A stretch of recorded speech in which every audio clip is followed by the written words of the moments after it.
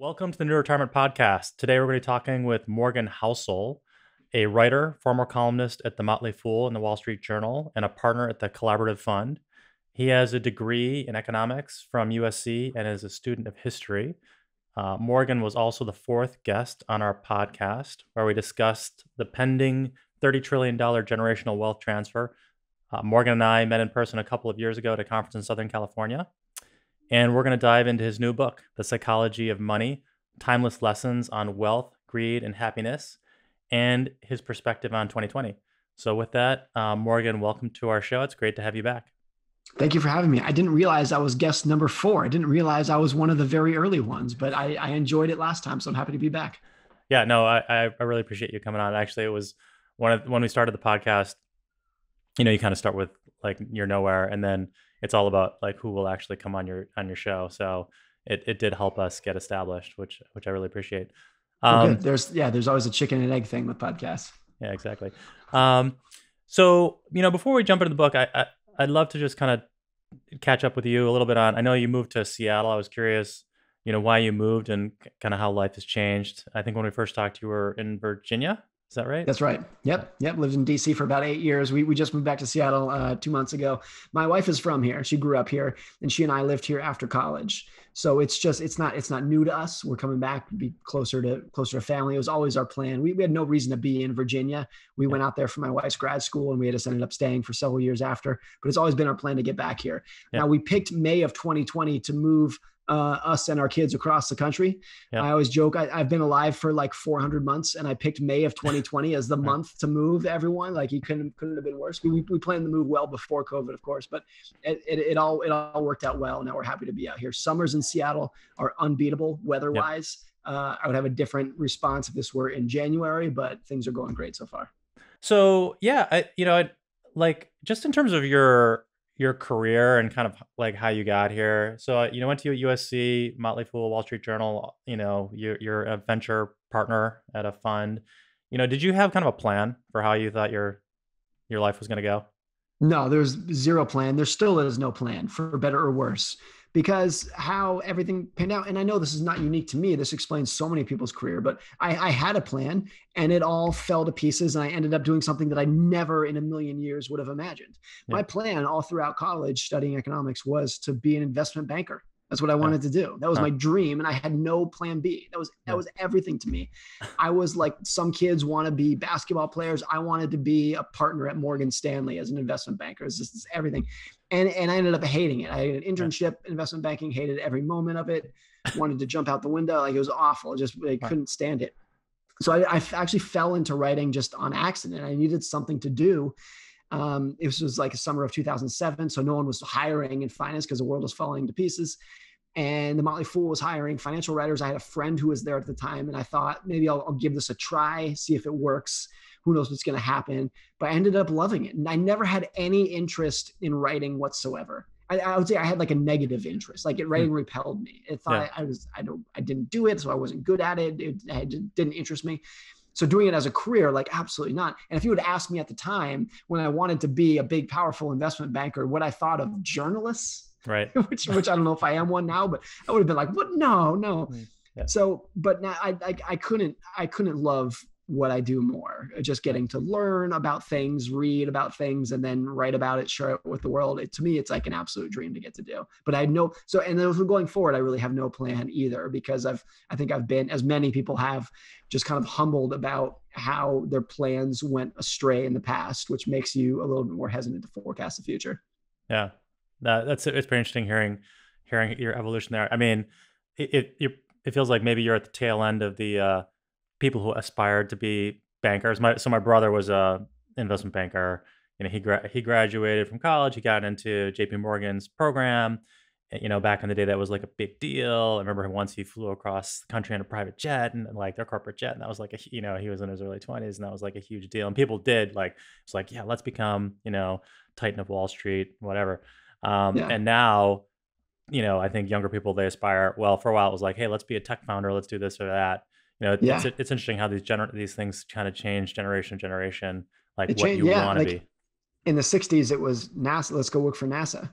Right. And then I think for a while it was like GE, like let's go. Like if you graduated from Harvard Business School, you're like, I'm going to GE or Procter Right. and Gamble. Right. And then it became Goldman Sachs, Morgan Stanley, and then it became Google, Facebook. I, I actually don't know what it is today. It's probably Yeah. still Google and Facebook, but it's fading. That's definitely fading. Right. Like if you like like the allure of working for, if you went to Stanford Business School in 2014, then if you got a job at Google, that was like you won. Like you made it, you won. I don't think it's that way anymore anymore. I think that's fading, but I don't know who's going to take the baton next. I don't know. All right. So let's let's jump into the book. Um, so you know, why'd you write the book? So I, I mean, for you know, 15 years now or so, I've been writing about kind of the intersection of investing history and behavioral finance. That's kind of been my my zone, my beat. You know, how do how do investors think about money? How do people think about money and investing? And what is the history of what they've done? What can we learn from the history of what they've done? That's always what I've written about. Uh, so about three years ago, I wrote a long form post called "The Psychology of Money," that just outlined like 20 of these little quirks that I've seen people fall for over time historically and what, what we can learn from them. Um, the post did, did really well. About a million people read it. Yeah. It was 8,000 words or something, which is a really long blog post. And I, I knew that there was, even though it was long, I was being so cautious to truncate what I wrote to keep everything as brief as possible because there was already so much in there that I knew when it was done and it caught on, like the structure of it caught on, that I could turn it into a book. So the post is 8,000 words. The book is 55,000 words, Yep. expanding on. It. And there's, and I actually use some different topics, some different points. I, I, it's, it's not actually, it's not like a mirror of the book at all. It's not a, a copy of the book at all, of the article at all, I should say. Um, but it was, it's just kind of, it's, I, I would describe it as like the highlights of what I've learned, the most important things that I've learned after writing, thinking about this topic and writing about it for 15 years. Yeah. Um, so it was really, it was really fun to put together. There's this weird thing with books where it's like, you know, I've, I've written thousands of articles. Uh, but if you put if you put a couple articles between two pieces of cardboard, people take it more seriously. So uh, you know, it's but it's it's fun to write a book. It's cool. I actually just got the first copies of it myself a few days ago. It's cool to see it come to fruition. Yeah, that's awesome. I, I mean, I from watching you, I was I was always wondering when you would write a book. And so, have you been thinking about like writing a book for a while? Was that always like, hey, this is kind of coming up in in my career, or was it really spurred on by you wrote this article, you saw the traction, you're like, okay, and then I think it was a, to. a little of both. I never felt that much pressure to do it because I was writing every week, twice a week. So it was like, it's not like I'm not getting my thoughts out to the world. I'm still doing it in the blog. And it didn't seem that relevant to me to say, well, I'm going to put them between two pieces of cardboard and then it's different. But you there is like an arc of a, of a writer's career where it's like, okay, I, I should write a book, but I never wanted to force it. Yeah. I didn't want to say like I'm going to write a book because I, because I'm due for one. I never wanted that. I really wanted to wait until it was like okay, this like I know I can turn this into 55,000 words. Yeah. Um, and it it wasn't until I wrote the post a couple years ago. I was like, I was like okay, now now now I, I have something that I know I can I can work with. I think a lot of I've seen a lot of writers in their career, or their journalists or whatnot, fall for that. Like I'm due for a book, and they kind of force something out because Yep. it's due, or a publisher offered them some money to do it and sometimes it works out and sometimes it does. So I, I really just wanted to be patient until I've, I, I- I could write something that I felt like I was going to feel good about. Yeah. So, you know, with regard to like what what are the key things or some of the key things that you think people should take away from the book? You know, that you where you think they can add value to people across the spectrum of like, you know, less literate to more literate, financially literate. To me, I think that the main thrust of the book is that the way that we are taught and generally think about money is that it is a math-based field, that it's numbers and formulas that give you a precise answer that will tell you what to do. And to me, everything I've learned about money, whether it's personal finance or investing or running a business, is that it's not a math-based field. It's a soft social sciences-based field. It's closer to psychology and sociology and history. And what's going to separate the good from the bad in finance. People who do really well, and people who do really bad is not your intelligence, it's not your education, it's not your your IQ.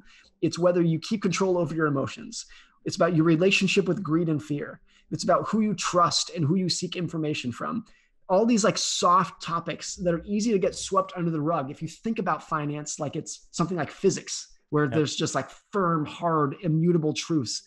Uh, if you think about it that way, I think a lot of those people go astray. Like there's no other field in which someone with the best education, someone who went to Harvard Business School and works at Goldman Sachs and then goes to work for Bridgewater, one of the best hedge funds, that that person can underperform like someone who didn't go to college and knows nothing about investing, but just dollar cost average and do a bunch of index funds. Yep. There's no other field where someone with no training and experience can outperform someone with the best training and experience. But it happens all the time in investing.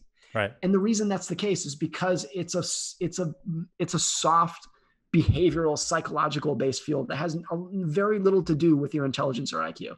Right. That's the main argument of the book and I use a bunch of stories and examples um, and kind of different points that lead that kind of tie into that uh, to, to, to, to kind of show how we can do better at money, thinking about it from a psychological point of view versus a math point right. of view. So, so what do you think the most important psychological uh, attributes are for someone to to be successful? I think, in a in a broad sense, it's knowing yourself and knowing that how you think about risk is different than I think about risk, which is different from anyone else because we've had different experiences in life. We've seen different things. We have different circumstances. We have different goals. And therefore, there is not one right answer that is right for me and right for you and right for anyone else. And I think that's kind of like, it's kind of discouraging for people. It's hard to, for people to accept that. Yep. When people want to think that there was one right answer, they want to think like we're debating, you know, like, like this is algebra like there yeah. should be a right answer. And if we're yeah. coming to different answers, it's because one of us is wrong. Yeah. I just don't think it's like that whatsoever. So, you know, I, I there's there's a, a, chapter in the last chapter of the book is called Confessions, where I write about what I do with my own money. I don't yep. give any numbers, but other than that, I open up the kimono and here's what I've done with my own money. And there are things that I do with my money that you cannot justify rationally. They don't make sense on paper. That yep. if someone looked at this and said, You're you're not doing this efficiently, like on a spreadsheet this is wrong. And my response is like i know it's wrong. I know it's not efficient but it works for me. Right. and it helps me sleep at night which is my only goal. So i think the more that people can embrace that that this is a messy field with no right answers and that your only goal should be to find something that works for you and helps you sleep at night. Not what maximizes your returns but just helps you sleep at night.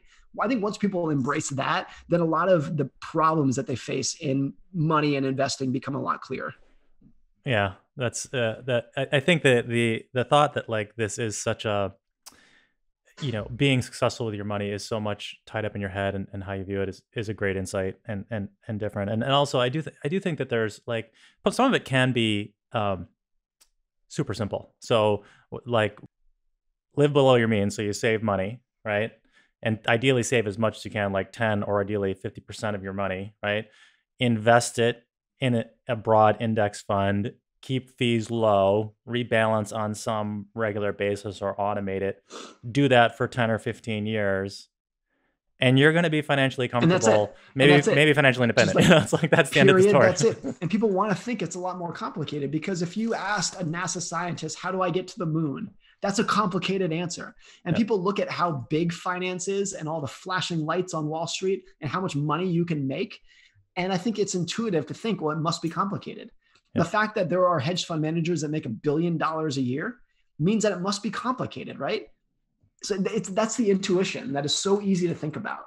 Yeah. And but yeah, I, am the same way. You explain to people how do you do well in investing? It's like live below your means, diversify, be patient, and that's it. Like I don't have anything else to tell you. That's right. that. That's it. Yeah. So I I think like if you understand the psychology of why that is hard to understand, that's the puzzle piece we're trying to fix for. It's not like, do you need to write a book telling people how to invest? No. Yep. But you need to write a book telling people what happens inside of your head when you try to think about that simple solution. Right. Uh, so that that's that's that's the thrust of the book.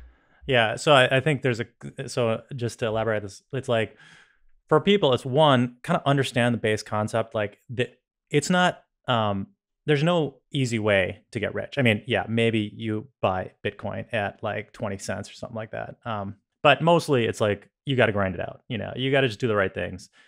Eh, but I think the other big thing that you're pointing out is like you you need to, to know yourself and like understand your weaknesses, which is for many people it's super hard. It's like, okay, now I understand the right things to do, how to actually do it, right? So, right. and if you can't do it yourself, you should get a coach or a financial advisor. You have to pick the right one because there's a lot of people preying on you you know you and your money that are misaligned with you, right? So that's that's the hard part, and like, but knowing the other, recognizing that early on can make a huge difference for you. And the other thing that's so different about investing that throws people off on this topic is that there's no other field that I know of where effort does not correlate with results. Like if you want to be the best basketball player in the world, you should you should go to the gym 12 hours a day. There's yep. stories about Tiger Woods who go out and hit a thousand golf balls at the range. Michael Jordan, you're practicing 12 hours a day. That's what correlates with success in those fields. And it's yep. easy to think that if you want to be the world's best investor, you should be sitting in front of your computer crunching numbers 12 hours a day. And look, there's going to be some quant hedge funds that do it and do well. But by and large, for the huge majority of people, it's the opposite. The way that you're going to do better is to stop trying. The way that you're going to do better at investing is to close your computer, close down your, you know, you know, shut down your brokerage account and go for and go do something else with your life and leave it alone and let compounding work. And that's not intuitive because, like I said, there's no other field where that's the case. Like, imagine if the way that you become a better doctor was to like not pay attention to med school. Like, there's there's no other field that works like that. But there's so much evidence that the people who do the best in investing, on on average, particularly not just individual investors but professionals as well, are the ones who leave it alone. Yep. Like here's one example for that, even for professional investors. The S&P 500, you know, has 500 companies, and there's actually some. It's not just the same companies over time. Uh, you know, you know, each year some companies are being pulled out, other companies are being pulled in from the S the Standard & Poor's committee that does it.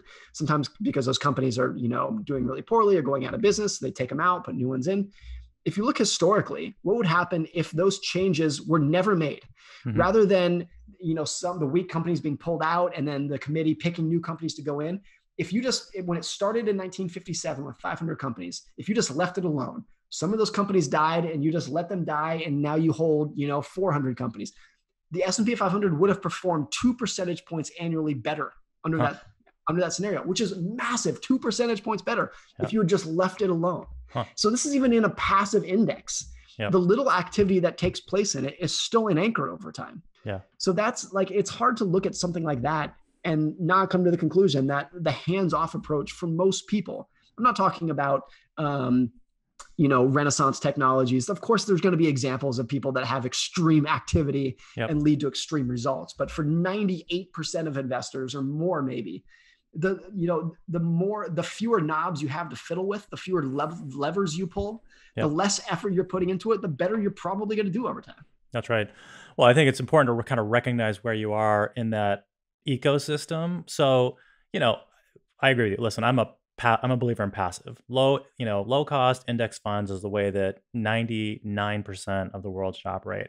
But on the other hand, you know, I'm sitting here as an entrepreneur taking a massive amount of risk with my own personal, ca- you know, human capital and time, right? And and and I look at people like uh, Patrick O'Shaughnessy and you know Jim O'Shaughnessy, and these guys are active, and but I'm like these guys are so smart, and I, I you know listen to this podcast, and it's like they have you know great insights, and so you there is this you do need the uh, animal spirits and the entrepreneur people like taking risk, innovating, people identifying yeah. that and like investing in that.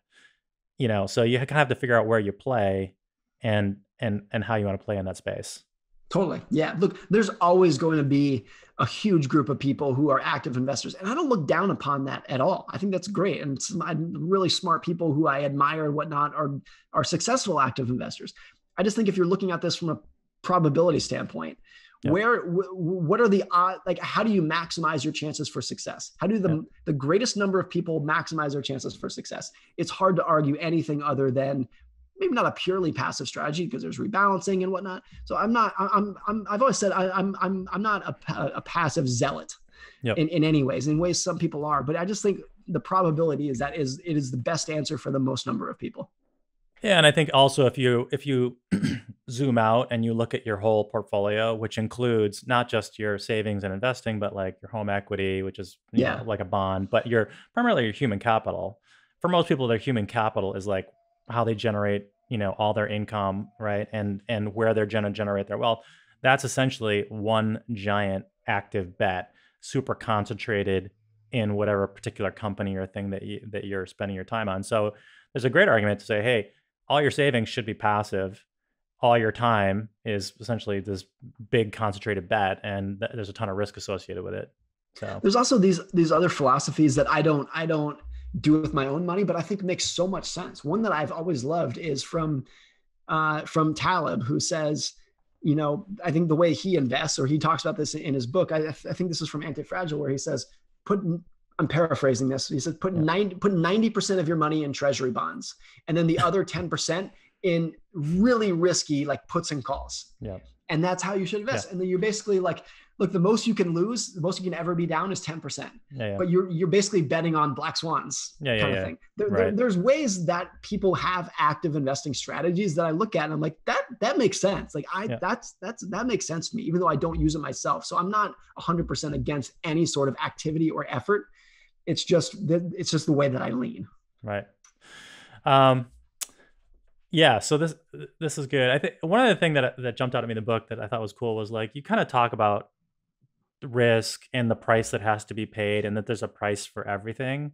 And I think some of your stories, especially on like the uh, the personal side of it, right, with entrepreneurs, it's like, hey, Warren Buffett, you know, he's super successful. He's had time, but he's also spends like an enormous amount of time doing what he does at the expense of relationships, family, and other other stuff. Do you have kind of yeah. stories that kind of you know resonate for you in that in that space? I just think there's always like the you know there's a uh, what's his name Scott Adams who's the who is the publisher of of the Dilbert comic. He writes yep. in one of his books that you know good advice for a lot of things, the key to a lot of things in life is just figure out what the price is and then pay it. Be willing to pay it. Yep. Really simple, obvious idea, but it goes really far. And people need to understand in investing what is the price of investing. Like you can do really well over time. The rewards are obvious, but what is the price? Yep. Nothing's free. What, what is investing going to take out of you? What is it? What, what's the cost of admission? And it's to me, it's. If you think about it in those terms, it's obvious what the cost of admission is in investing. It's uncertainty and volatility. Yep. And you have to be willing to pay that price. If you are not willing to pay it, you're basically trying to to to sneak in. You're yep. trying to jump over the fence and not pay the admission price and it's not it's not going to work out well. So i think you have to have to to me as an investor it's been looking at and saying okay volatility and uncertainty is the price of admission. It's worth the price of admission. Like it like the like the fee is worth it but i just need to be willing to pay it and yep. put up with the volatility. Not try to avoid it not try to sneak in without paying the price. I just need to put up with it yep. and endure it and deal with it and situate my finances so that i'm able to endure it and deal with it. And once you view it as a as a price worth paying rather than a, a fine Yep. You know, that's that's the difference. I, I make the distinction in the book, the difference between a fee and a fine. Yep. A fee is something that is that you are willing to pay. That you yep. pay hundred dollars to get into Disneyland, but it's worth it. You you're happy to pay it to get in. A fine is something that you should avoid. A fine is like you screwed up. Yep. And a lot of people view volatility as a fine. Like, oh, my portfolio was down 20%. I did something wrong. I was fined and I should try to not do that again. Yep. And I just that's not how I view it. I view a 20% decline as the fee. That's yep. the cost of admission. And if you view it as like, look, I, this, I'm not happy about this. Yep. I, I, I wasn't thrilled in March of 2020, but if you just change your mindset to view it as a fee, then it's like, okay, this is the price that I pay for getting to double my money every decade on average. Yeah. Right. And I, just, I think that subtle shift is really important in investing. Right.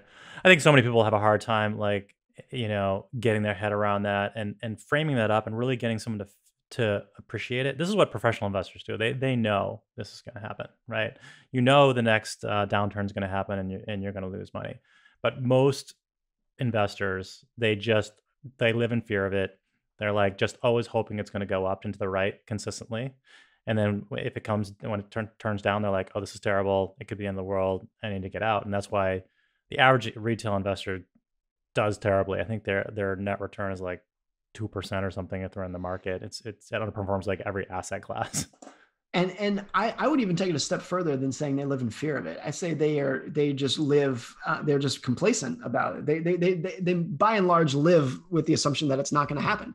Yep. Like the like the general assumption that the market should not fall 30% because a 30% decline in a lot of people's eyes means that something is broken.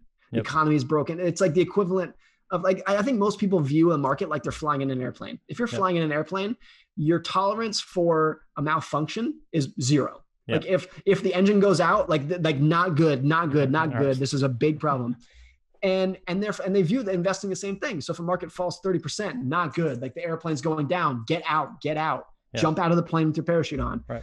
Um, and it's just it's not that at all like if you if you realize that a 30% decline is normal historically happens about once per decade on average yep. then when it happens again it's not fun but you're like okay like i knew this is i knew this is going to happen. I expected this to happen. It's not fun but it's okay. This is part of the process. Right. Yeah i think it, it's you have to be going into it. So say even say like our users you know they the average user is kind of 50 to 65 years old and due to the kind of wealth concentration has a million bucks. The median is 600,000, but they have a fair amount of money, right? So if you walk into the world and you're like, "Hey, I have a million dollars and it's invested." And, you know, there's a decent chance that it could go down 250,000 bucks this year.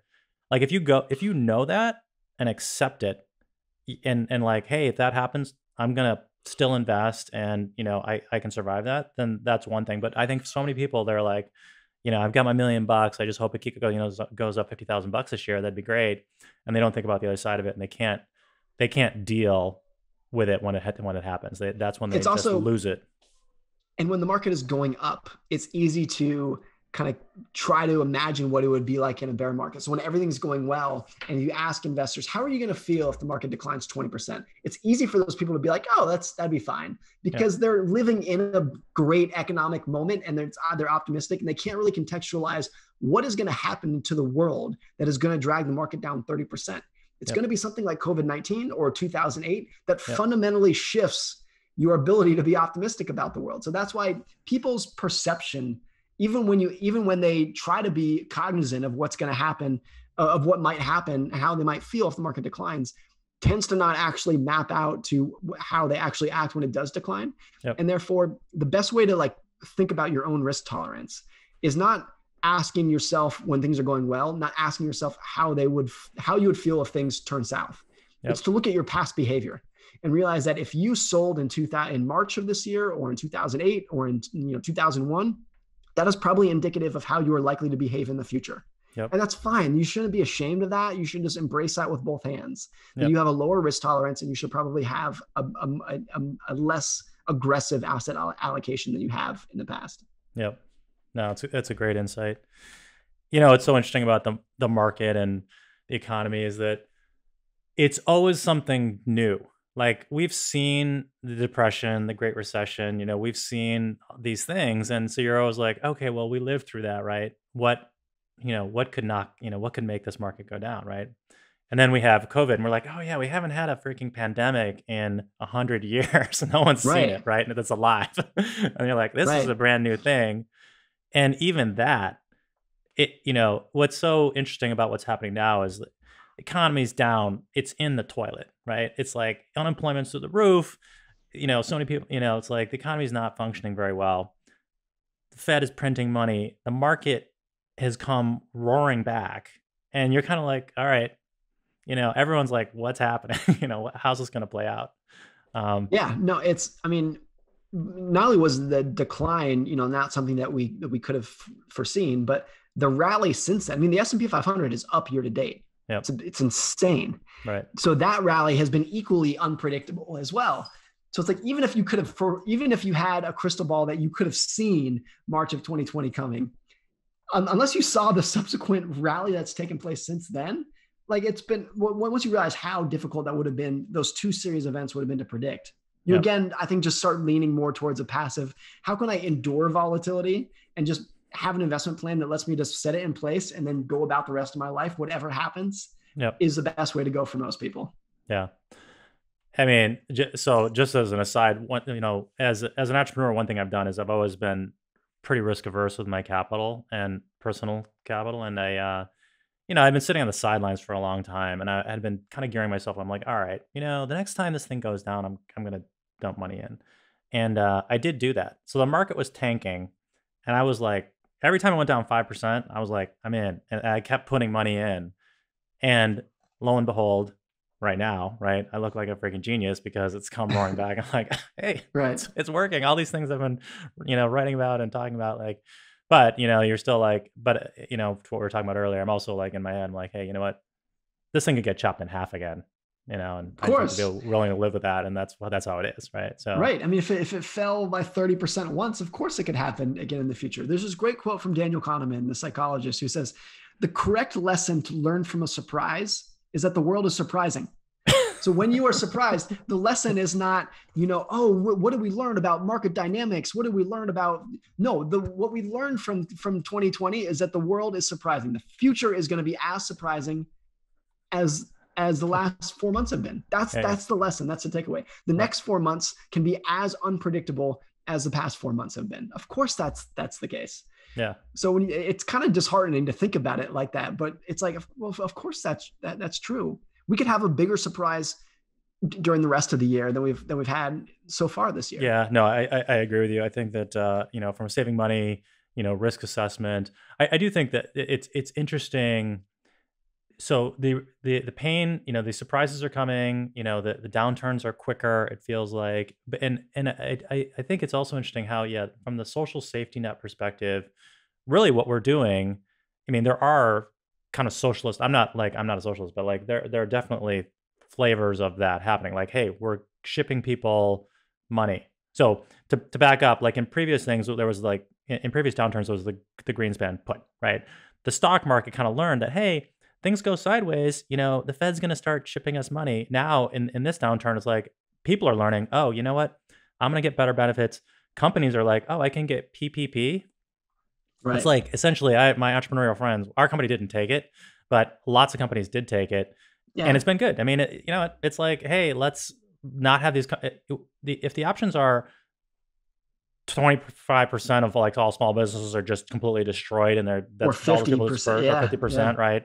And, and then we get a vaccine and they're all blown up. Well, they're all gone. Th- that's not right. good. You know, that's, that's better to keep them kind of around, right? And kind of on, on life support.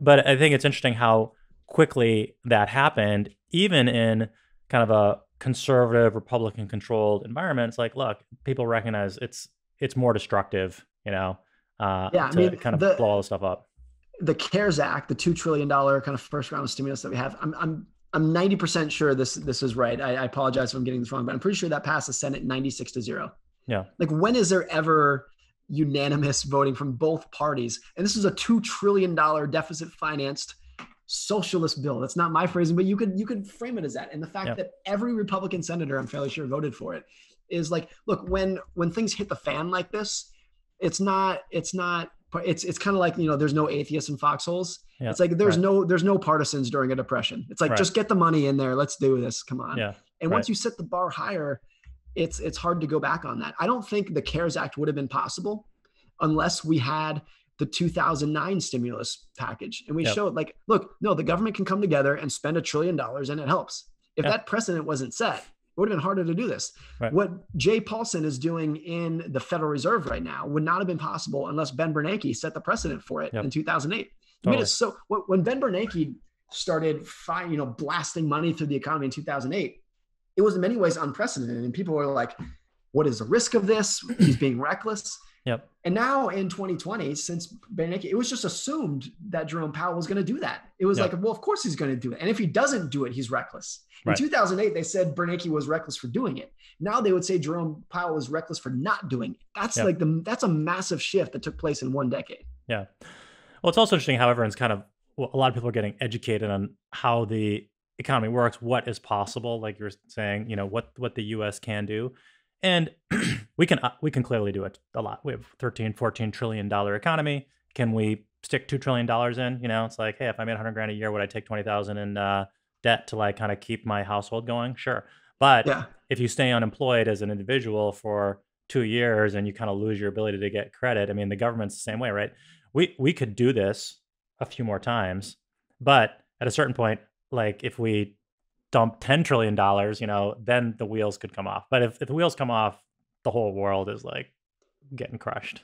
I think. And I think, I, I, think the limits of what the, tre- what the treasury could do right now are, are, are, are pretty high. I think there's yeah. a lot that it could do right now. Yeah. The, like the Fed is buying the treasury bonds in which the, in which uh, this money is is coming from the the, the you know a, a, large chunk of them and when the economy is is incredibly depressed and there's so much excess capacity in the system as there is right now yep. the idea that the fed that, that the fed buying treasury bonds is going to spark some degree of hyperinflation now uh, I, I, think is is hard is is is hard to imagine someday when the economy gets back going if there's a vaccine and then you have pent up demand and all these hotels and restaurants are shut down that could spark inflation among some industries but it's i think it's difficult. It's not impossible but it's yeah. difficult to make the argument that there's not substantially more that the fed and treasury could do without taking risk that exceeded the benefits that they're getting out of it. Totally. I mean for inflation to happen we have to not we have to have both an inflated money supply and a rapid